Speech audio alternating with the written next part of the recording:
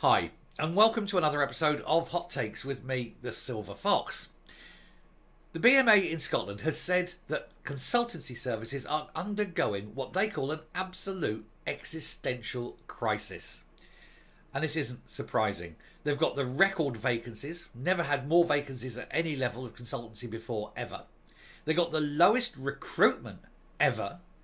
And of course, hospitals themselves are being mismanaged and underfunded. And it's no surprise. If you are a consultant, why would you go and work in the NHS in Scotland where there's not enough people, so you're going to be overworked, stressed, affects your mental and physical health? And even then, if you finish and get a month's wages, you look at your pay slip and you see how much extra tax has been taken from you than if you worked in England. So it is no surprise that this is the case. And of course, it's 17 years of misrule by the SNP. Massive underfunding, recruitment problems, uh, generally having uh, a whole slew of health secretaries who don't know what they're doing. Um, you know, I mean, the last one is sitting there looking like he might be thrown out of politics entirely for knocking one out in Morocco and then fraudulently claiming it uh, against the people, against the public purse. And the current one is no better, massively over promoted. He's never had a job like it. He's never had any experience like it. He doesn't know what he's doing. He's been thrown in at the deep end and he is drowning. So this is why things are so bad. But it looks like they're going to get a whole lot worse. Let's go. So, NHS Scotland consultant workforce in crisis. And the SNP high taxes will make it worse. And who says this? The doctors. The ones at the pointy end.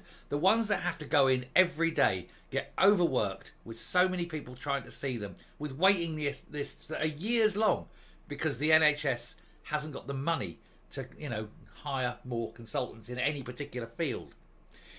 And then, of course, now they're getting increasingly taxed. So why shouldn't they go to England and get taxed less? You would. If you had the ability to earn more money, you'd take it. So why wouldn't they? This is what happens with um, idiots like the SNP. They are absolute buffoons. And you tell them in advance that this will happen, and they ignore you. Or worse, they're doing it on purpose. If they know something's going to happen and they still do it, it's got to be a conscious decision, and therefore it's a deliberate decision. The Scottish government making Scotland the highest. Uh, the Scottish government, sorry, are making Scotland the highest tax part of the UK. It's exacerbating the recruitment crisis affecting hospitals across the country, claimed Doctors Union BMA Scotland. But I don't think you need the BMA to tell you that. You can see it yourself, and it makes plain common sense. If you're underfunding hospitals and overtaxing doctors, what on earth do you think is going to be the outcome? Chaos, destruction, the end of the SNP. Sorry, the end of the NHS. I wish it was the end of the SNP. But even their idiot supporters are still going to vote for them, even when their families are dying because they can't get in to see a doctor. Yeah, Granny died, but hey, I'll still vote for the SNP because Granny would have wanted that as she's laying there gasping her last breath on a corridor because there's no room at the inn. Unbelievable, these people, it really is. Uh, doctors have claimed that the consultant workforce in Scotland's NHS is beyond crisis point and will only worsen due to the SNP's high taxes, making the country substantially less attractive to live in. BMA Scotland warned that the situation could turn increasingly grim due to new pay offer being put, put forward in England. How grim does it have to be? It's pretty damn grim now, isn't it, surely? Uh, the latest quarterly figures for the NHS Medical and Dentistry Consultancy revealed that there were 436 vacancies across the country in the quarter ending 2023 and 6,006 whole time equivalent consultants working but the union, the doctors' union, has disputed this figure. So that's the government figures, but we know that they lie. They outright lie and spin, so can't believe a word of it. Uh, they claim, this is the doctors, claim that the statistics seriously underestimate the real level of vacancies by not counting things like posts temporarily filled by locums or vacant for so long that they're no longer being advertised. So there's been a post that's been vacant so long they've stopped counting it. That's unbelievable, isn't it? It says our previous figures have consistently shown that the actual number of vacancies are around double those counted in official statistics. And we're currently collecting this data again. So there you go. The, the, the, Scottish government lying. Imagine that. Imagine that they were actually lying and telling you that the uh, the, the, the, vacancies were only 600, when in fact uh, it's over a thousand. And nobody wants to go there. Yeah, sure, you're a consultant in, in England. Let's say, you know, just across the border, you could be in Carlisle. So you're in a Carlisle uh, hospital and you say, well, I might just go up there and work up in Scotland for a while. Oh, no, I don't want to lose thousands upon thousands of pounds in tax. So I don't think I will. Also, this is a busy hospital and we have lots of doctors, so I only have to see about, you know, a dozen patients a day or so. Go up there and you've got hundreds to see a day and you can only give them five minutes each. It's ridiculous, isn't it? One of the huge issues affecting recruitment, according to Dr. Alan Robertson, chair of the BMA Scotland's Consultant Committee, is the huge tax discrepancy between jobs and, the, uh, and jobs north of the border. Jobs in England, sorry, and north of the border. The SNP have ensured the country is the highest tax part of the UK.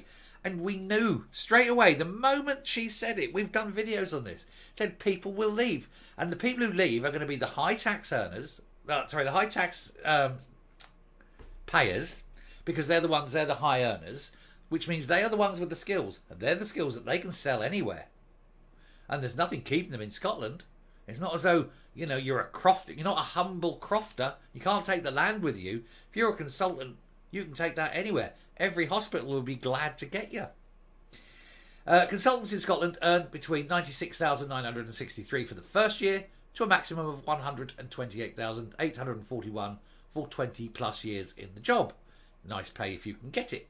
But of course, you're not paying for the job, you're paying for the many, many years of constant learning. It's not easy being a consultant. Uh, but there are plenty of pay brackets targeted by the nationalist Scot- uh, Scottish government to pay more to the state in order to fund a bloated benefit system, plus the likes of freebies such as tuition and bus travel for under 22s. Strange they can give under 22s bus passes, but not the over 60s. Um, an employee in Scotland earning 110,000 will take home less than someone in England who earns 100,000, with the money mainly going in the pockets of the state. The new tax band is being introduced, hammering those between 60, uh, between 75 and 125,000, and further increasing the divide between the two countries. And of course, consultants slap bang in the middle of that, aren't they? Why would you go to Scotland and get hammered thousands upon thousands of pounds all across the board. They'll leave. And of course, what will happen then is that Shona's bright idea and all oh, we're going to get all this extra money turns in that not only are they not getting the extra uplift that she thought, she's not getting the base that was already there. That's gone as well. She'll be much, much worse off. We've covered this, the Laffer curve, but Thicky Shona with her 86 IQ doesn't see it. And now her policies are going to absolutely harm people's health. Vote SNP if you want to die. Um, today, he said, this is uh, Mr. Roberts again, he said, today a new offer for English consultants has also been announced. It will, of course, be up to them to consider whether to accept. But when you add in the new top rates of tax introduced in Scotland, the competitive disadvantage of our consultants face is becoming increasingly clear. You will earn base far more in England than you do in Scotland, and after tax, wow, that's someone else's salary. That's the differential. The difference is immense. He says, We cannot possibly hope to make any difference in reducing the number of gaps in our workforce if it continues to become substantially less attractive to work in Scotland than other places. And of course, the other problem they have is they haven't got a border they can clo- close. It's not North Korea. You know, people go, right, that's it, I'm off, boom. I'm going to go down south. I'm going to earn £6,000 a year more than I am here. And I'm going to pay substantially less in tax. What's keeping you?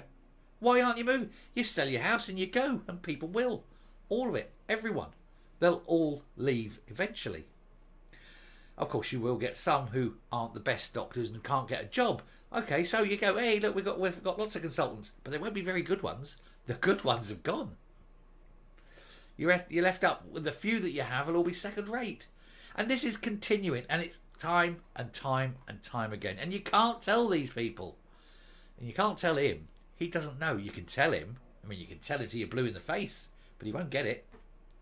Another one, completely out of his depth. Coming up. When the death rate starts spiking because of a lack of consultants, who's going to be to blame? Who will the SNP blame? Well, they'll blame Westminster. Look at you cutting your taxes. Look at you paying your doctors.